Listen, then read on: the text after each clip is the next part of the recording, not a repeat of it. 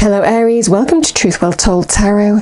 This is Andrea and I'm here to do your love and romance reading for January to February 2021 for the sign of Aries, Sun, Moon, Rising and Venus.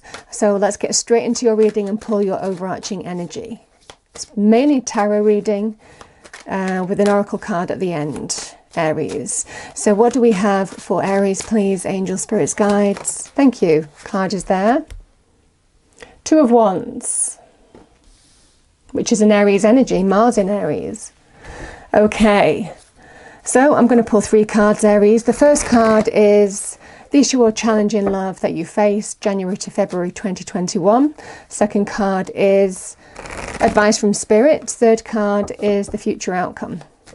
And then we'll clarify the cards and go deeper into the message. And it won't resonate with everybody, so just take what resonates with you.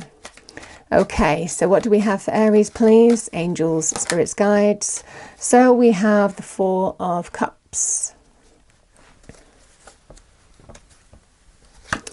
The advice from Spirit, we had the Ten of Wands. And the Nine of Pentacles is your outcome. Let's clarify the cards and go deeper into the message for Aries. Thank you. In terms of love, romance, relationships, angel spirits, guides, and it will be from January to February 2021. Thank you. What do we have for our lovely Aries? Thank you. Message for Aries in terms of love, romance, relationships. Thank you. So we have the Seven of Wands, the Nine of Swords,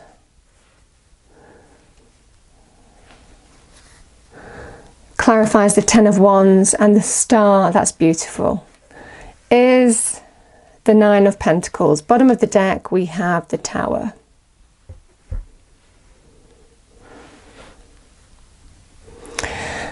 Aries, there, the message, the overarching energy is a card of choice. The Two of Wands is a card of being at a crossroads and then the being in an empowered position. I mean, remember the Two of Wands is fire energy. So it's somebody who wants to take action, somebody who wants to choose the path now, somebody who has two paths available and they want to make some empowered choice or decision about their future, how they make progress in a situation, which direction they're going to go. So it feels that there are definitely two paths available and there's a message of now is the time to make the choice, choose wisely. Um, but you know, both of these ones promise growth. Promise the, both of these ones have opportunity and potential. It feels in this situation, it's what you see in your future, what you take, what what you want to take a chance on, what you want to go with now. Um, definitely feels in this energy some decision about your future or how you're you're moving forward, because this Four of Cups It can be a kind of giving some deep thought to a situation. And again, the universe is giving you some illumination, giving you the divine nudge. This is the way that you need to go. This is the, the direction that you need to take. So for some of you, that might well be the case. Um, can also be a card of apathy, boredom, stagnation. Yeah? So you might feel that in a relationship, which is why maybe there is some kind of choice or decision that you want to make about your future. Because the Seven of Wands is a card of challenge, being challenged by something. Now, it could well be boredom or apathy, or going within and really giving some deep thought to how you overcome some kind of challenge that you're seeing in your world as a result of it feels like love, romance, or relationship.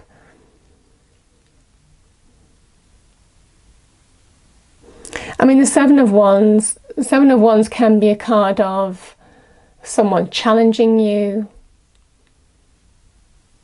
Can be also a card of, of do I persevere with this any longer? You know, it's this kind of energy. Is it worth me persevering? The Nine of Swords is an energy, it's Mars energy in Gemini. So there's definitely an energy of this is when you're so much in your own head, you focus on the negative and it's things spiral out of control. It causes anxiety, stress, upset, sleepless nights, worry. So it feels like something has is, is a burden. Something is a heavy burden to bear. And it feels like something is built up over a long, it feels like a, a period of time here with the Ten of Wands. And there's just an energy of now is the time you're giving some deep thought to a situation because it's become almost kind of like it's got to that point where you need to deal with it. It feels like like the straw that breaks the camel's back. You know, it feels like something's caused you stress, anxiety, worry, or someone's getting in your own head, maybe. Um, yeah, Nine of Swords. It definitely feels in this kind of energy this can be about worry, anxiety, stress, feeling down. And it's to do with this burden. It's to do with something, is it worth me persevering? Do I continue to take action in this? And it feels like you're you're weighing things up. Because there's definitely an energy of stress, I mean, I don't know if it's mind games here, but it's definitely someone's in your own head as well, or something's causing you this negative energy as well here in your own mind. The swords is to do with our minds, our perceptions, how we see something, um, you know, our thought patterns. And it feels like there's a negative energy here that's very destructive. Um, it's just getting to that point where you're like, okay, I want to deal with this. I want to make some kind of empowered choice or decision here because it's too much to bear now. It's it feels like something's happening, straw that breaks the camel's back.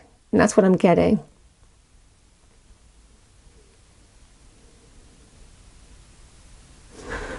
Interestingly enough, oh, yeah, Ace of Cups with the Tower. So the tower is a Mars energy. This is that destructive energy of Mars in your internal space. And this is, feels like I'm done with it. You know, it feels like in this situation, um, I need to deal with the situation. I need to, I need to make some clear choices about my future because I want happiness. And this tower energy, it feels this is you. Now, the tower can be things beyond our control, can be about truth, revelation. But it feels in this energy Aries you're tearing down the old. It feels in this situation you're ready to tear down the old. You're ready to bring change to your situation because this square tower and that round crown, something doesn't fit anymore. And there's definitely this energy with the Ace of Cups of you want happiness, you want love, and it feels like new love. This can also be a card of self love. But it feels in this situation, change needs to happen for you to find happiness. And the Nine of Pentacles, and certainly the Ace of Cups, I have to say the Ace of Cups is self love or new love coming into you. Can be new love coming into you. Nine of Pentacles is an energy of somebody who is self, it's a self sustaining energy. It's an independent energy as well. Sometimes this is the single card. You know, I'm happy on my own. I stand in my own abundance, my own self worth, my own security, and my own solidity.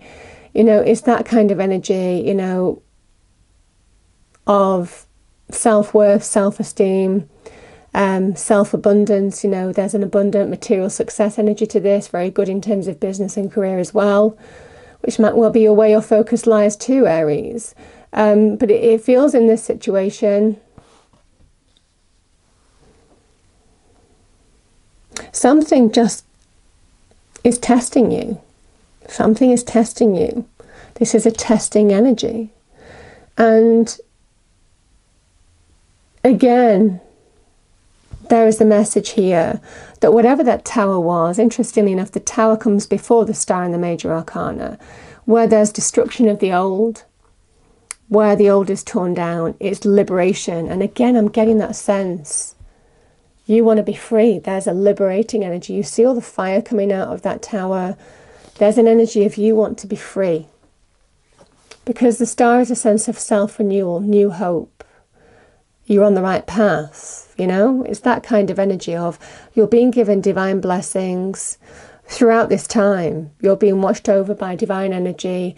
And there's definitely this energy with that yellow star. You're being asked to shine in your own individual light amongst all the white ones. Um, so this is about you embracing your individuality as well. This is about you embracing who you, who you are. This is almost like something is too much. Something happens here. It's already been challenging, and then something happens which adds to the burden where you get so much in you know your own head. And there's definitely this energy of okay i just need to get perspective. I need to take control of the situation. I need to take some kind of charge and really make a decision on what's right for me what do i want and what don't i want now and it feels like I, I feel this with this with this tower you are engineering this change it definitely feels in this situation it is Definitely some kind of change for the better because it's leading to the Ace of Cups. But it definitely feels in this situation you're making some clear decision about your future. And if you see this relationship in your future. So I'm going to pull a final card. Like I said, it won't resonate for everybody, so just take what resonates with you. Final message for Aries in love, romance, relationships, please, angel spirits, guides. Thank you. Yeah, you see, I can't believe this came out. We have Panther protection. Consider who you allow to take your energy and who you give it away to freely. Wow. Because there's definitely an energy of you stepping into your truth. And the truth of the situation will become clear. The star is a liberating energy as well. So it definitely feels in this situation, Aries, something happens. It's the last straw, you know? And it definitely feels in this situation, you're making some empowered choice decision about which way you want to go. Yeah. So I hope you enjoyed the reading. If you did, please do like, share, and subscribe. I hope it's a wonderful month or two for you, Aries, and I will see you next time. Thank you.